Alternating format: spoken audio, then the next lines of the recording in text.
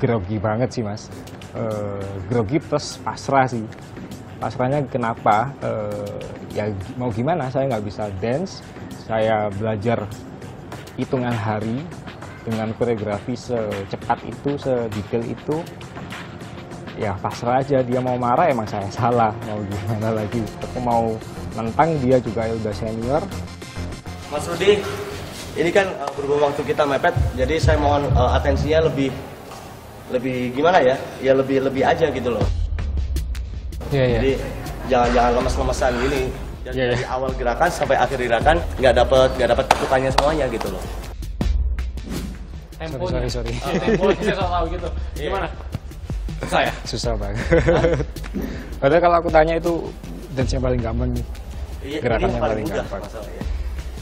Masih paling mau mudah. coba, masih mau latihan. Ya, mesti coba deh. Hah? Saya melihat usaha yang sangat keras dari Rudy pada saat dia latihan koreografi.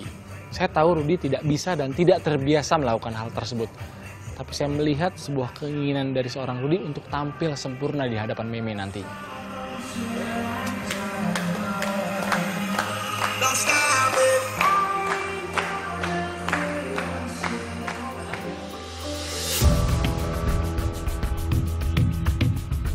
Tadi saya ngobrol sama tim ya. Ini gerakan memang sulit. Kita posisikan meme ini nonton parade. Mas Andi ini masuk sama rombongannya, ya kan? Bikin apa? Dance terus tadi sampai flash mob. Nah, dari flash mob mau selesai ke ada freestyle ya tadi ya? Iya. Rudy muncul. Jadi Rudy nggak usah ngedance tapi ngikutin beat musik aja. Nanti kita kasih gimmick bawa bawa bunga. Meme jangan tahu dulu ini bahwa ini yang Rudy. Jadi uh, untuk kostumnya nanti yang cover all ya dari atas Ya, sampai bawah yang sebenarnya Mbak Meme nggak tahu bahwa ini Ini Rudy. Rudy. Oke, Oke. ada. Gimana kalau kayak gitu? Kira-kira kalau kostum nih apa mas? Kalau yang overall? Uh, ada sih overall dari dari atas sampai bawah kita ada Iron Man. Akhirnya solusi untuk treatment dan kostum untuk menutupi Rudy sudah selesai. Ini kan udah mendekati eksekusi nih, hanya tinggal hitungan hari. Ah, karakter Mimi sendiri gimana sih? Biasanya kalau dikasih surprise kayak gini. Mimi tipikal cewek yang manja ya. Eh, suka nonton drama Korea. Jadi mungkin ter- terbawa skenario, terbawa cerita. Jadi di- dia menambahkan dia adalah sosok yang berada di drama tersebut gitu. Mudah-mudahan dengan apa yang kita rencanakan ini, ini bisa membuat dia bahagia, terharu, dan yang pasti ini kan akan di tempat ramai nih, ya kan? Dan kamu di awal bilang sama saya bahwa saya ini orangnya pemalu gitu dan kita buktiin ini menjadi sesuatu yang sangat monumental lah. Akhirnya solusi untuk treatment dan kostum untuk menutupi Rudy sudah selesai dan kemudian pihak entertainment mengajak tim ke lokasi eksekusi pelamaran. Bentar, bentar, bentar, bentar. Serius nih mas, ini di hadapan semua tamu yang datang Iya. gitu. Sempat kaget.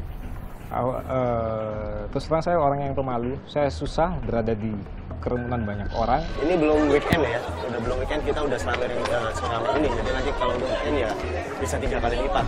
Oh mas, gimana nih mas? Semangat Mas. Oke, semangat ya. Siap. See you on the show berarti. Ya. Thank you.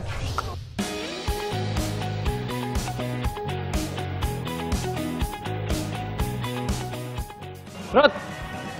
Rodi.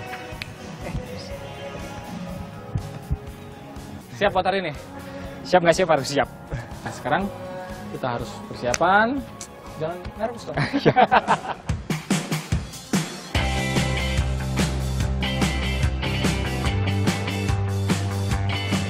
Selamat malam. Kalau biasanya kami selalu melakukan rehearsal sesaat sebelum eksekusi pelamaran, namun kali ini kami tidak bisa melakukan hal tersebut. Akhirnya tim hanya bisa melakukan blocking kamera di tempat eksekusi pelamaran. Dan itu benar-benar menjadi kendala buat kami. Bayang putih maju, ada pada depan, ada pada depan lagi.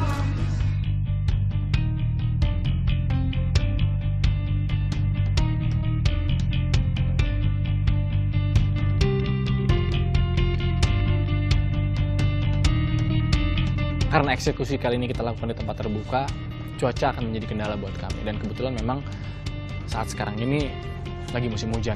Oh, udah gelap loh, Mas.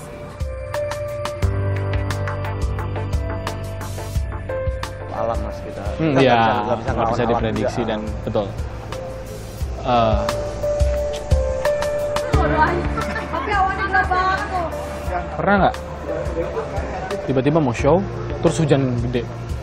Tetap berlanjut apa nunggu sampai? Waktu. Oke. waktu. Estimasinya bisa berapa lama? Setengah jam. Setengah jam. Kalau setengah jam masih hujan? Kita nggak jalan.